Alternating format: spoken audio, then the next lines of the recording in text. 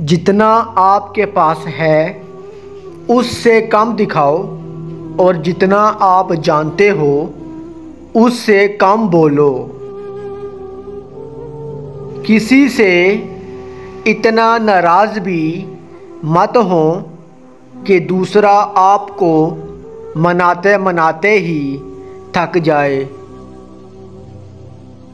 रिश्ते और ताल्लुक़ निभाना एक फ़न है जिसके लिए दौलत की नहीं, महज एहसास की ज़रूरत होती है। दरख्त अपना फल खुद नहीं खाते, दरिया अपना पानी खुद नहीं पीते। पता है क्यों? क्योंकि दूसरों के लिए जीना ही असल ज़िंदगी है।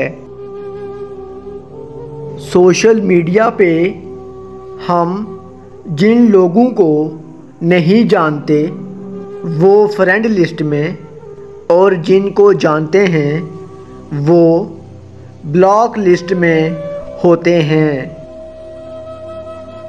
दुनिया वो किताब है जो कभी नहीं पढ़ी जा सकती और ज़माना वो उस्ताद है जो सब कुछ सिखा देता है।